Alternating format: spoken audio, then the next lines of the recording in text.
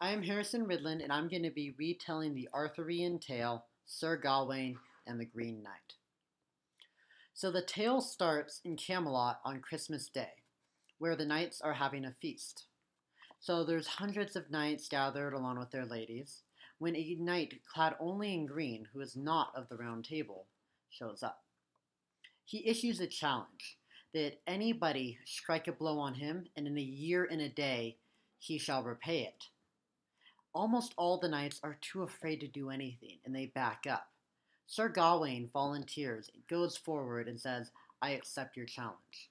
He picks up an axe and chops the Green Knight's head clean off. The Green Knight then picks up his head, mounts his horse, and rides away, saying, Remember, find me in a year and a day. Do not fail to.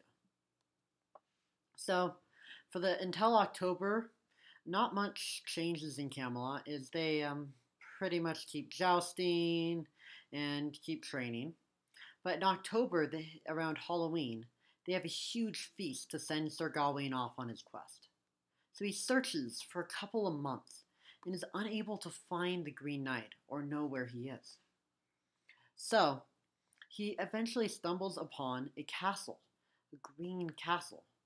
And he, he goes in and the lord of the castle treats him so well. He treats him like nobility. He's able to stay there for a time. After a while, he says, I need to go find the Green Knight. And the Lord says, No, he's close. Stay another three days. And Sir Gawain agrees. So then, for um, the three days, the Lord says, You know what? I want to go hunting. Why don't we make this interesting? You get whatever I get hunting, and I will get whatever you got here. Sir Gawain agrees. So for the first day, he stays back, and the nobleman's, the lord's wife, who is also who is incredibly attractive, makes advances on Gawain. Gawain uh, brushes her aside, the noble knight that he is, but she plants one kiss on his cheek.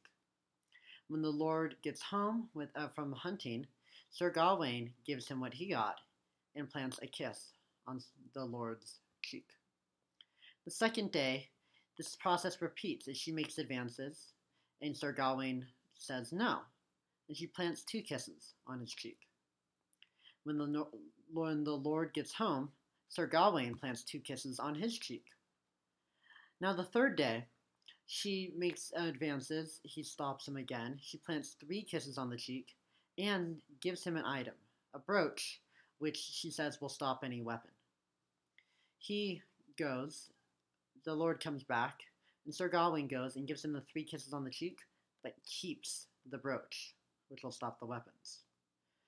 So then the Lord says, "Oh, here you. This is where to go to find Sir Ga- the Green Knight."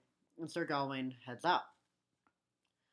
So, a couple hours later, Sir Gawain encounters the Green Knight, and the Green Knight raises his axe once, twice, and then a third time, he strikes and nicks the neck of Sir Gawain, not killing him, but hurting him.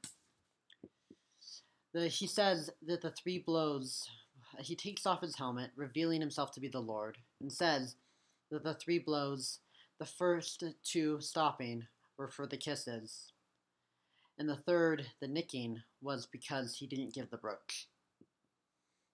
So, the lesson that you should learn from this tale is that you need to, if you make an agreement, you need to follow it. And Sir Gawain got nicked because he failed to follow the agreement of giving the brooch, giving everything that he got to the Lord.